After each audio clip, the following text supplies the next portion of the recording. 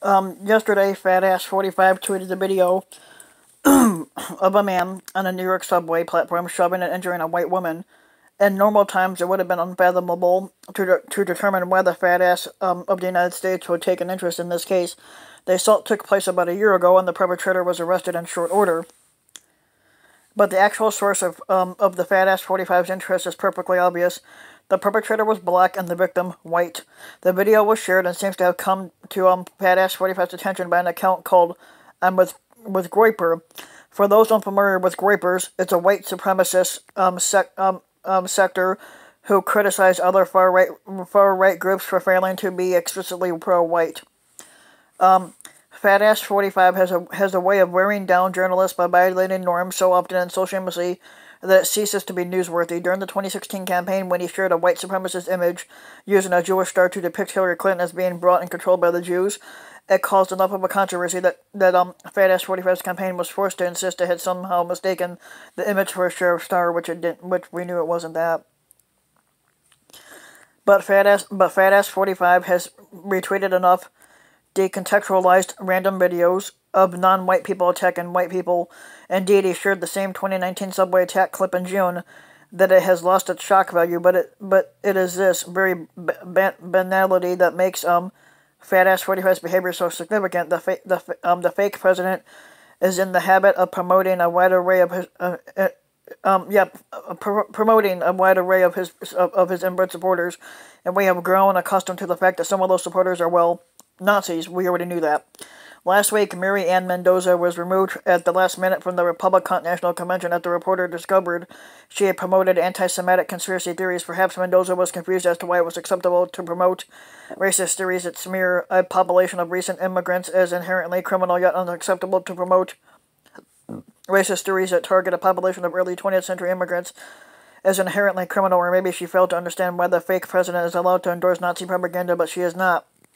Perhaps even more confusing is the fate of Marjorie Taylor Greene, a Republican nominee for Congress in Georgia and an avid proponent of QAnon. In addition to um, evangel evangelizing for the notorious um, conspiracy theory that is, uh, that is advocated publicly by 10 fellow Republican congressional nominees, Taylor Greene has promoted racist and anti-Semitic videos and other social media content herself. Last week, Media Matters found that she has promoted a far-right video that features anti-Muslim propaganda, she quotes an anti-Semitic Holocaust denier saying that Zionist um, that Zionist supremacists have schemed to promote immigration and mis and mis and, and mis mis mis um generation, and as one reporter wrote, implies that Jews are the heart of a project to destroy Europe as we know it. The next day, she attended um, Fat Ass 45's Republican um, um, National Convention acceptance speech at the White House lawn. Is 45 is 40 is fat ass 45 a Nazi? Not exactly. He does embrace a certain fascist aesthetic, elevating strength over all other values. He, he, he reportedly asked for his inauguration to include a military parade and want tanks and choppers, make it look like North Korea, citing the world's most totalitarian state uh, as his visual model. He often speaks as though he's Dwight Schrute, being tricked into reading bits from a Mussolini speech. But Fat Ass 40, but Fat Ass 45's uh, evocation of racist troops is not Nazism exactly, it is better described as Nazi adjacent. He has activated and energized open white supremacists who, for the first time in decades, have been given a fake president who reflects the same values that they do very closely enough to inspire open defense. If you if you peruse Nazi propaganda sites that contain defenses of of ass 45 and such matters like the Russia scandal and when extra and when extra and when excised of references to Jews, read, they read pretty much the same as the pol um, polemics found in normal conservative publications like the Federalist, Breitbart, and so on. Where Nazis were once where Nazi where Nazis were once treated by both parties as an ambig as an unambiguous source of pure evil, now they inhabit a gray area on the fringe of the Republican coalition. His now infamous description of Unite the Right um, Nazi protesters uh, as very fine people were not a flubber on-off Fat Ass 45 would never come out and praise Hitler, but he would stoke their, he, but he would stoke their, their race war dreams. They are marginal members of the coalition to be handled delicately.